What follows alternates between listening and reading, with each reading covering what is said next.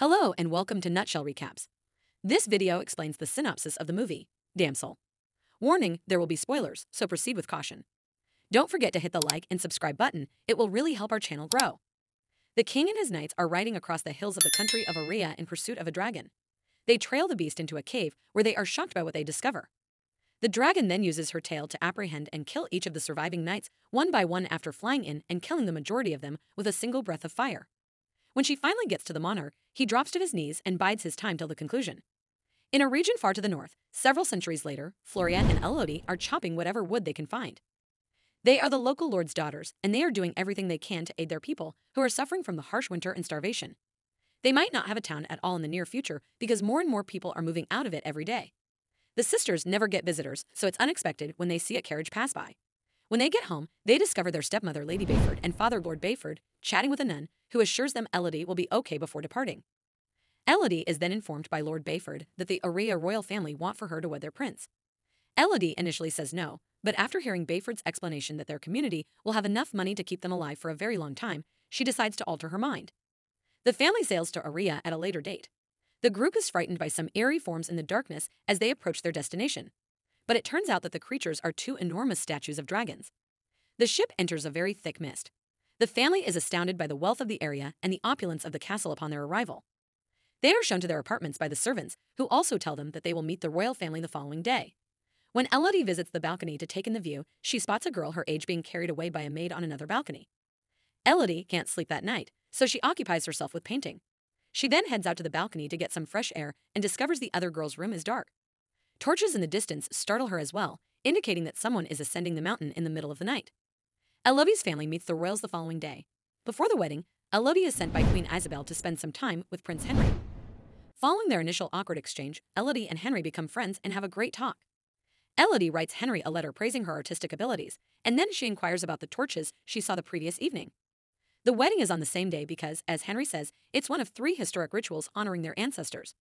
As all is going on, Lord Bayford appears to be somewhat unhappy after concluding his conversation with Isabel in the castle. When Lady Bayford attempts to check on him, he gets angry and says there's nothing wrong. Isabel is not amused when Lady Bayford tries to talk to her later. Isabel responds that this is merely a transaction driven by necessity. She needs a princess, and Bayford's land needs money. When Lady Bayford explains that she believes the families should bond and get along. She also reminds Bayford that she should remember her status because she is a rope maker's daughter. When Lady Bayford corrects Isabel for mispronouncing Elodie's name, Isabel ignores her correction and walks away. Later that night, a frightened Lady Bayford approaches Elodie to inform her that she believes the wedding ought to be called off because of something fishy going on. However, Lord Bayford arrives and puts them all to bed before they get a chance to talk about anything further. The maids assist Elodie in getting ready for the nuptials the following morning. She receives a gorgeous outfit along with a scent diffuser and a dull dagger. Everything goes smoothly at the wedding. Elodie receives her own crown, Henry and she exchange rings and kiss. Elodie then bids her family farewell and boards a carriage with Henry, who informs her they will be attending the historic ritual atop the mountain. Elodie is astonished to see a group of people wearing eerie golden masks, as well as Isabel dressed like a nun when they ascend a rough flight of stairs. Elodie receives a coin from the queen, who promises to assist guard the realm. After that, they enter while Isabel tells a tale. Their forefathers found a dragon, the last of its kind, living on this island when they first arrived. As soon as the dragon noticed that the humans had settled down, it attacked the village. The king then rallied his troops and made an attempt to repel the beast. Except for the monarch, who had to give up his three daughters in order for the island to be divided, the dragon slaughtered everyone. Elodie observes while she hears the story that everyone is staring at her strangely and that they are traversing a perilous bridge over a precipice. Isabel continues, saying that before chopping off Henry and Elodie's hands, they commemorate the king's sacrifice every generation. Declaring that Elodie is now formally of royal blood, she presses them together to combine their blood and covers them with a cloth. Elodie then tosses the coin into the abyss, believing that this marks the conclusion of the rite. After picking her up to help her over the bridge, Henry abruptly apologizes and throws her into the chasm as well. Elodie smashes several trees while screaming as she falls, eventually landing on a puddle of mud and passing out. Moments later, she awakens with multiple bruises all over her body. Yet she still gets to her feet and begins calling out for assistance. Although no one is left on the bridge, the dragon concealed deep within the cave is awakened by her voice. Subsequently, Elodie sobs as her despair becomes into rage, ripping off the ornate jewelry before attempting to escape. Regretfully, she sustains more injuries after falling. She discovers at that point that other jewelry doesn't belong to her and that the royal family has been sacrificing females to the dragon for a long time. She enters the cave after hearing a disturbance and discovering a burning bird inside after turning around to look around. Elodie quickly extinguishes the fire with some earth, but it's too late. The bird has already passed away. Hundreds of burning birds emerge from the cave, circling Elodie for a short while before perishing nearby, all of which are accompanied by an abrupt roar. Elodie attempts to search for a way out with the little corpses acting as lights, but she freezes as she spots the approaching dragon. The dragon begins to speak, telling Elodie that she can smell it in her blood and that every generation of royalty must pay. Elodie flees behind a stalagmite to hide. Elodie understands the purpose of the ceremony is to deceive the dragon by glancing at her scar.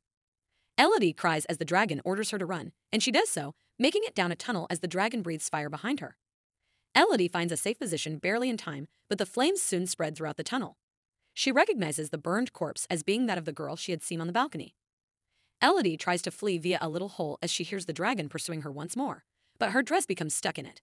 With much effort, Elodie succeeds in taking off her crinoline as the flames approach and flees, sheltering in a smaller cave. She screams in agony as some flames, regrettably, still manages to burn her leg. Because of the space between her enormous size and the dragon, the dragon can hear her but cannot get to her. After the dragon has disappeared, Elodie finds the blunt dagger and sharpens it on a rock before severing a portion of her clothing. Despite the excruciating pain in her leg, she perseveres and uses the ripped cloth to patch the wound. Then, in order to utilize the diffuser as a lantern, she opens it and lights a little fire inside of it. She can now go about the cave and soon discovers a very little opening. She starts to crawl through it, but her dress gets caught again. She pulls to get out of it and falls as a result. Elodie tries her utmost to hang on, but she falls again and extinguishes the diffuser's flames since her hands are sore and worn out. Determined to reach a light she can see in the distance, Elodie gets up and walks while holding onto the wall. She refuses to give up. She walks out of the tunnel after enduring excruciating pain, only to nearly tumble down a precipice. After removing her wedding ring and tossing it into the abyss, Elodie goes to make a large leap because she can still see the light at the other side. Fortunately, as she falls, her belt gets lodged in a rock because the other side of the cliff is too slick for her to grasp onto. She has enough time to remove the knife and wedge it into a fissure to cling on, even though it breaks soon.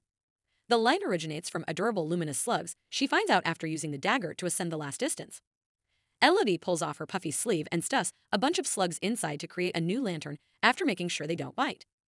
After a little while, she discovers a small lake, but as soon as she tries to drink, she spits the water out. It turns out that the flavor is repulsive due to the cave plants.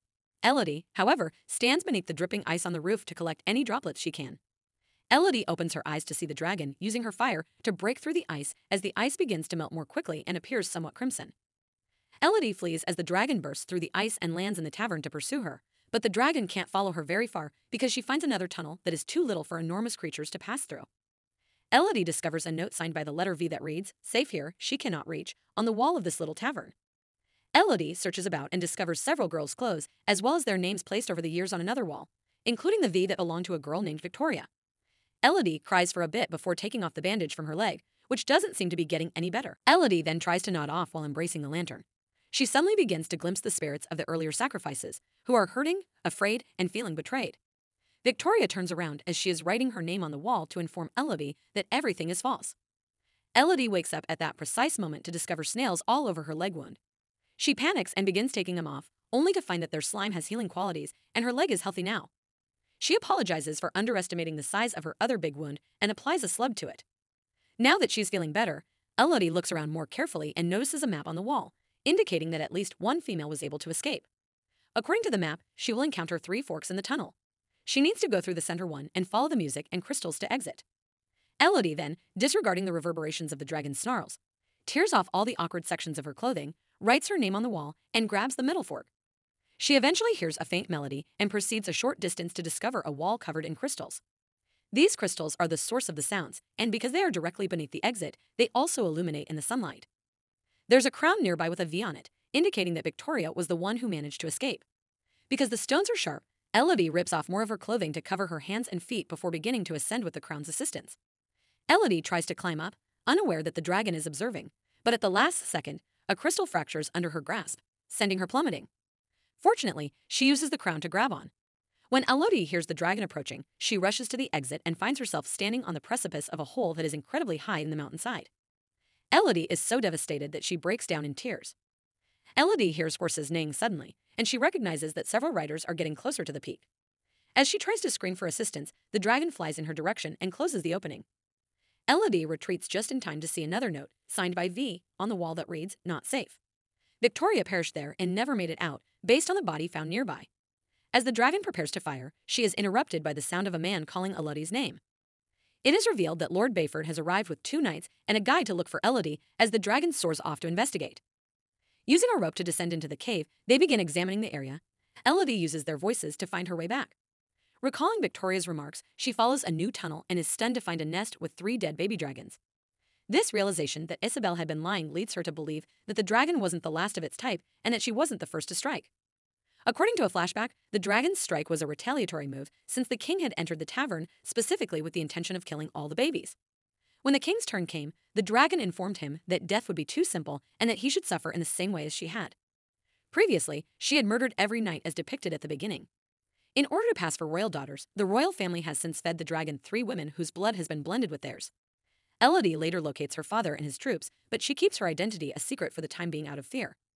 A knight is taken by the dragon, who then launches him into the air and lets him fall from a high height. The knight dies on impact after bouncing off the rocks and falling to the earth. The dragon captures the second knight and crushes him under her paw while the guide rides away to hide, and then she questions Bayford. When he tries to attack with his sword, after explaining that he is here to save his daughter, the dragon catches him with her tail, disarms him, and then drops him. The dragon urges Bayford to call for his daughter as Elodie lurks around, waiting for the perfect moment.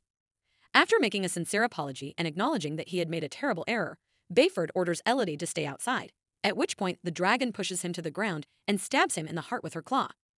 Elodie can't help but cry, and the dragon begins to look for her. Fortunately, the guard also makes a sound, and the dragon follows him, mistaking him for Elodie. With the dragon gone, Elodie bids her dad farewell and gives him a final kiss on the forehead before he passes away. Then she begins to climb out of the tavern using the rope he left behind. Elodie climbs fast enough to escape the flames that now surround the entrance, but the dragon finds him and crushes him to death before pursuing her. Elodie hops on her father's horse right away and rides for a short while before hopping off to hide behind some rocks. The dragon follows the horse, believing it to be dead, only to be duped into continuing. Then, as a warning that the agreement has been broken, the dragon pours fire on the skies, creating a terrible storm. When Isabel at the castle realizes this, she sends her knights right away to capture Floria. While attempting to stop them, Lady Bayford is stabbed. After the fire has passed, Elodie emerges from hiding and runs into Lady Bayford, who has traveled a great distance on a horse while still bleeding. After learning of what has transpired, Elodie rides the horse back to the mountain and swears to save her sister. Henry declines to perform the ceremony with a child while Floria is being brought to the bridge in the interim. Ignoring him, Isabel cuts Floria's hand to mix the blood before plunging her into the chasm using her own blood. Elodie finds herself at the bridge after everyone has left and the dragon has captured an unconscious Floria. The dragon chooses not to kill Floria just now, as she wants to use her as a bait to get Elodie to come get her sister. A desperate Elodie takes the rope and heads back into the tavern, tracing her route much more quickly thanks to her prior knowledge. Elodie equips herself with her father's sword and sets up a trap for the dragon after consulting the map twice to locate the monster's lair. The armor and rope that make up this trap are burning beneath a tiny flame. As Elodie leaves, the armor collapses and the rope burns out, sending the dragon flying from her lair to investigate the disturbance. This gives Elodie the opportunity to enter the lair covertly and awaken Floria, who moves slowly due to a leg injury. Elodie is waiting with her sword drawn, and Floria hides as the dragon returns to its lair after realizing the trap. The dragon tries to breathe fire, not believing her when she tries to explain that they've all been duped by the queen. Elodie reroutes the attack by stabbing her mouth with the sword, but she still tumbles down the edge of the lair and sustains some burns on her shoulder and arms. Elodie lands in a lake and swims out in time to avoid being struck by another sword that Floria is about to brandish while the dragon takes away the sword. The dragon suddenly leaps on her, grabs hold of her, and stabs her with her claw. Elodie pulls out a dagger and stabs the dragon in the eye, stopping her before she can kill her and making her fling Elodie away. Subsequently, Elodie seizes the blade once more and charges towards the dragon, whose vision is impaired in one eye. Though it doesn't do much harm, she succeeds in stabbing the beast in the chest before the dragon takes her once more. The dragon drops her again when Elodie stabs her paw. Elodie gets an idea when she sees the dust bouncing off a curving stalagmite as the dragon approaches. The dragon breaths Elodie's fire as she stands in front of the stalagmite, telling it to burn her down. Elodie, however, dodges at the last second, forcing the fire to ricochet off the stalagmite and settle on the dragon, ultimately bringing her down. Elodie then proves to the dragon that the creature has been murdering common girls rather than royalty by displaying the scar on her hand. Elodie drops the sword and refuses to break this hateful cycle when the dragon begs her to stop. She then takes hold of several slugs and applies them to the dragon's body to allow her to heal completely. In the meantime, a second wedding is being held in the castle in an attempt to dupe the third female of this generation. When a coin suddenly starts to tumble down the altar, Elodie enters and tells the bride to grab her family and flee. The villagers are then told by Elodie that they too might flee if they so choose, but only the servants heed her and depart. In order to put an end to it, the dragon then appears and breathes fire on everyone in the room, killing Isabel and every member of the royal dynasty. Henry shuts his eyes, knowing he deserves the punishment even as everyone else freaks out. Elodie walks out with her head held high as the fortress soon falls. After a few days, Elodie, Floria, and a recuperating Lady Bayford prepare to depart aboard a ship that is loaded with provisions and gold for their people. Together, they decide to manage their estate, and Elodie even begins referring to Bayford as mother rather than stepmother. The dragon flies by and gives Elodie a respectful nod as they make their way home.